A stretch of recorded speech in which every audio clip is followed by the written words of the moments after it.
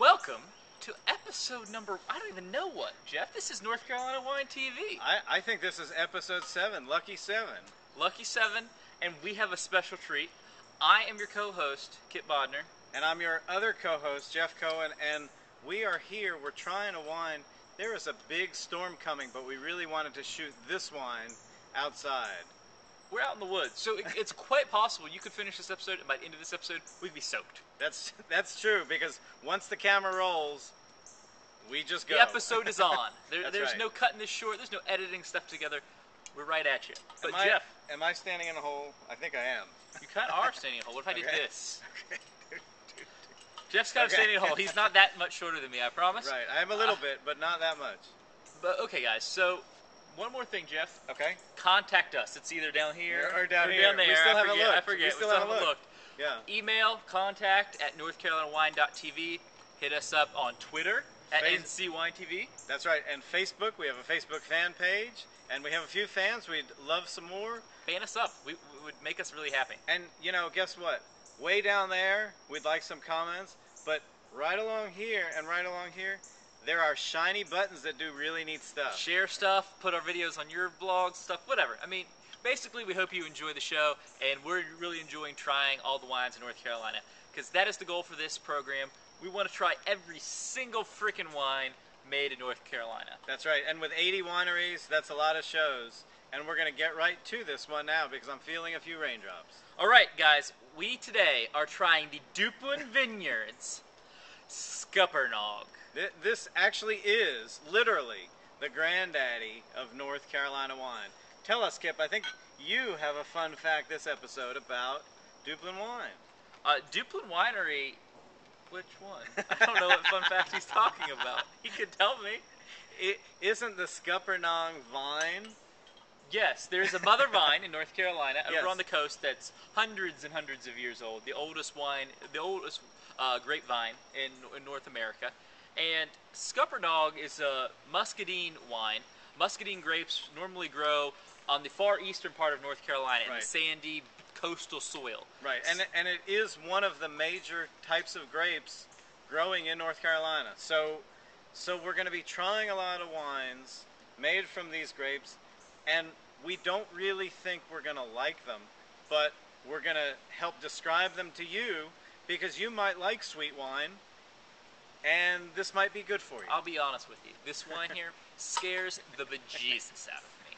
I am like terrified on the inside right now. when when I picked it up on the shelf at Total Wine for six ninety seven. Six ninety seven Six ninety seven.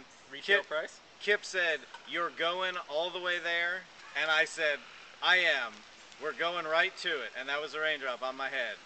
It's gonna happen. Okay, guys, got to keep the show going. We're gonna pour the Scuppernong, and we're gonna tell more horror stories of the Scuppernong. So, muscadine wine, sweet wine.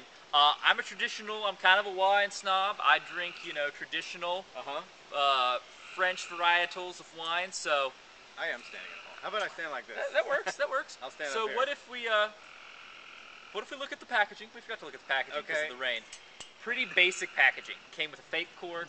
Uh huh. I mean, stripped down green glass bottle with a basic little lighthouse But bird it, but it has a North Carolina lighthouse. That that actually is the pattern of the Hatteras Lighthouse. It's not the Hatteras Lighthouse itself. it's very folksy, Right. Very kind of interesting, but has you a know, has a bird on it, which to me says this is probably a good tourist wine. They probably sell a lot of this at the beach. yes, this this to me screams I'm laying on the beach in the Outer Banks and I want a chilled sweet wine. This wine is recommended to be served chilled. I'll read you the little label on the back. Scuppernong is a late harvest muscadine wine made from carefully picked and gently pressed grapes. Uh, and they basically position this as the southern. This is the wine of the South. Plantation owners used to drink Scuppernong. So that's what we're looking at today. So you gently poured it, and I'm gonna carefully drink it. I don't even know that I can carefully drink. Hold on, Okay. hold on, hold on. Oh, we have gotta to smell. it. We I have know. to smell. We have to smell because that's where the taste of wine comes from. The smell. And what this smells like. Wow. what this smells like.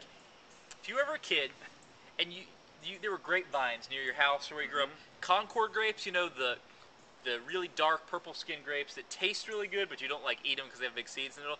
This is exactly what this smells like. Is Smells like grapes, for lack Yep. of a better term. Smells like grapes. Very, very sweet grapes. I mean, it, it feels like smells like grapes with like a pound of sugar on top. Okay, So let's see. let's try it.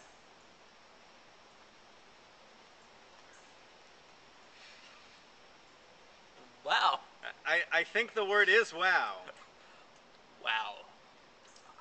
I, I think we have to try it again, Jeff.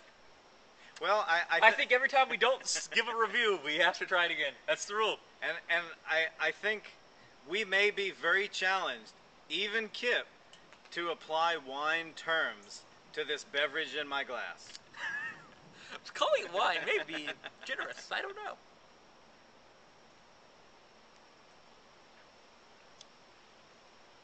Wow.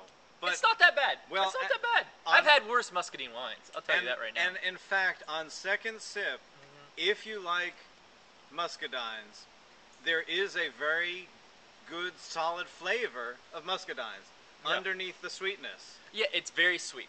Uh, Very sweet. Syrupy. Mm-hmm. I mean, if you like really sweet wines, this I mean, this is your ticket. Right. I mean, there's no overlying complexities. This is this is very simple. This is sugar, muscadine flavor, and I, I don't even know how to describe muscadine flavor. It's kind of like alcoholic Welch's grape juice. I, I don't know. Well, but there, there's there's like an earthiness to the muscadine. There is. There is. Yeah. It's like you know. It's kind of the ta- taste if you opened your mouth walking down through the woods. You know, there's kind of like a chlorophyll woodsy kind of taste to all the sugar. It's like you put a couple of leaves from an oak tree, mashed them up with some sugar, poured some water in, chugged it down the gullet. There's and it's slightly artificial. That's what's really Yeah. kicking me. If the artificialness wasn't there, it's pretty smooth. Mhm. I'll be honest with you. It's it scared the bejesus out of me, and it's better. it's better than I thought. Right. It, it, it is better than I thought. What but, I th- but there will be other sweet North Carolina wines lots. in your future. Yeah, there's uh, that's probably half the wine we're drinking on the show is sweet muscadine wine. So That's right. we'll be giving you lot lots more review and tell, telling you what's good or what's bad. I'm gonna say this is pretty fair. For for seven dollars, if if sweet wine is your cup of tea, I don't know that you're gonna go wrong. It's not my favorite. I won't ever buy this bottle of wine ever again in my entire life. It's true. Um, Kip, you didn't buy this bottle of wine this time. I think I bought this one. It's true. Never mind. Then I will never ever buy this bottle of wine ever in my life. But in all seriousness, to the folks at Duplin Winery, I think it's a good muscadine wine. It's just muscadine wine's not my ticket. I hope if it's yours, go try it out. This is a widely available wine in North Mhm. Carolina. If you're anywhere in North Carolina, this is a pretty easy bottle of wine. Right. And if you do like this wine or like muscadine wine a lot, tell us, educate us, tell us what you like about it. Tell us what you what we need to be looking for, what we're missing when we try the muscadine wine. And recommend something else for us down in those comments. Please tell us what who who makes the best muscadine wine in North Carolina. Tell us. Comments this episode. Jeff, I, I think we've we've run the Scuppernall gambit and we've won. And we still, the rain has not come. It'll That's- be here shortly. That's what I said. We've won. It, That's the right. wine didn't suck, and we're dry. That That's is right. a victory. So guys, until the next episode. Here's to the Old North State.